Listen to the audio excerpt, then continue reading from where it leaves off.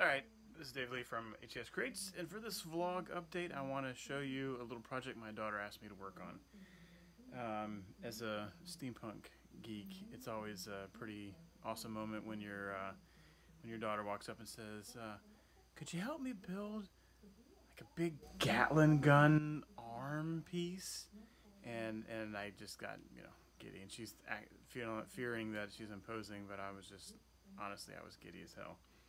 So what I did is I, uh, the two of us designed kind of like a, a Gatling gun looking uh, arm piece. And I want to show a little in progress piece before it gets painted and is all done. Because um, I'm uh, just kind of finished the majority part of the electronics. It's kind of cool. So this is the uh, the gun. It um, it is a PVC pipe that has a bolt down at the end.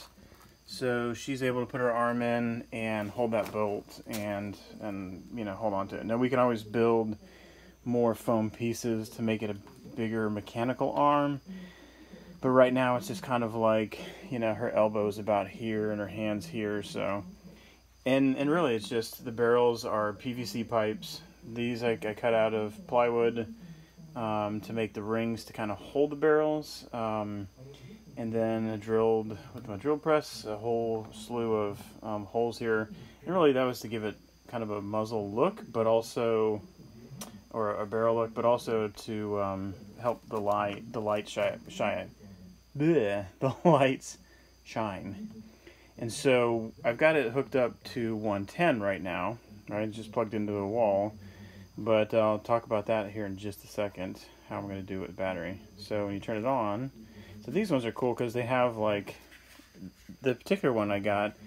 I specifically got one where um, the rope light is black. You see how it's this is the actual part of the rope light here, but it the background is black. Usually they're white.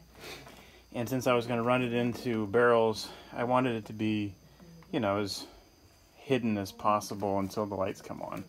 So, because this part right here gets covered up in foam once I get all of this installed. But uh, again, turn it on. You can see that it's really nice and bright. And, you know, she can change the colors of the light. Um, there's different effects. I like this kind of pulsing, like if it is a some sort of arm pulse cat uh, gun or whatever. That's a neat effect. You know, there's also like, you know, more flashing strobe kind of stuff. Um, is more like epileptic seizure increasing stuff. Um, yeah, and anyway, so it's just it's a lot of fun. Now, so a lot of people ask me this all the time. They say, "Well, if you're plugging into the wall, how are you going to make it? Um, uh, how are you going to make it plugged into a battery?"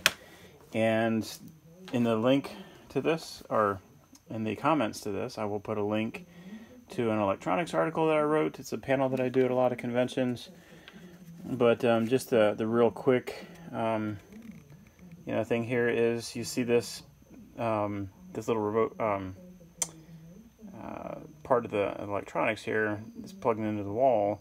You'll see that the input voltage is um, I was saying 12 volts, but the output current.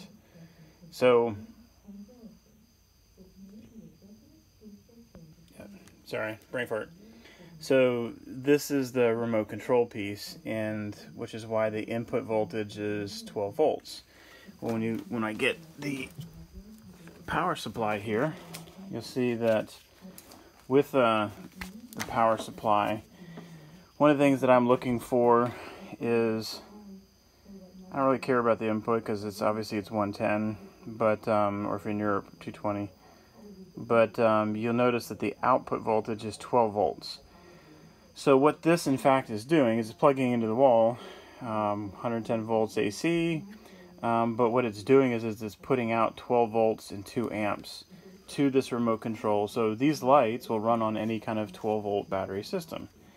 And, um, and so, so the fact that it runs on a 12 volt system means I can use any one of my 11.1 volt lithium ion battery packs.